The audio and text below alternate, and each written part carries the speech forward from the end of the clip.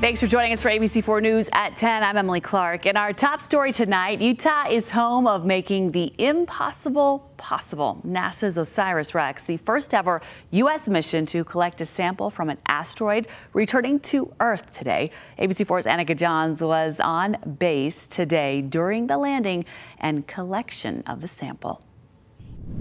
Today, history was made right here in Utah. After years of preparing and waiting, the OSIRIS-REx has made its delivery of the largest asteroid sample ever received here on Earth, right in our own backyard. Now today, we watched it enter Earth's atmosphere, touch down, and be taken back to base for its continued journey here on Earth.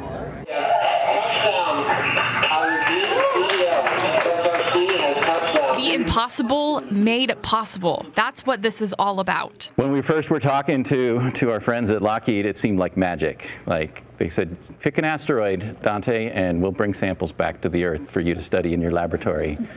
And I can tell you, this is the end of a very long spell. A journey seven years in the making, coming to a close as the capsule containing what scientists describe as a doorway into the past makes its way back to Earth. We just appreciate everyone coming along with us to celebrate NASA's first ever asteroid sample return. It has been incredible. Touching down at approximately 8:50 this morning, the OSIRIS-REx capsule containing half a pound of dust and rocks collected from the asteroid Bennu entered Earth's atmosphere, deployed its parachute, and touched down in the remote area of the Utah Test and Training Range. Seeing that parachute, seeing the capsule descending on the main parachute, and then seeing it just sitting perfectly on the desert floor, uh, just hard to articulate what that means after so so much uh, put into this mission. While the collection process of this journey is over, this is only just the beginning for the OSIRIS-REx sample. We currently have a, a team of spacecraft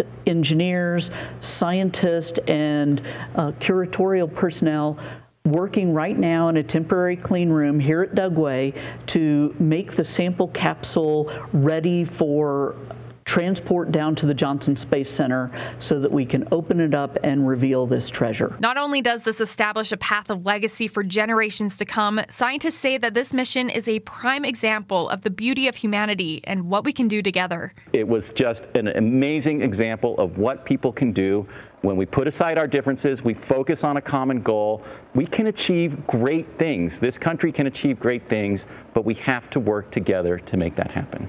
The OSIRIS-REx is just beginning its journey. Just 20 minutes after it sent down the sample from Bennu, it was already on its second mission, now called OSIRIS-APEX. Now this will go to another asteroid and will take it about six years to get there as it makes its closest approach here to Earth. Reporting from the Dugway Proving Grounds, Anneka Johns, ABC4 News.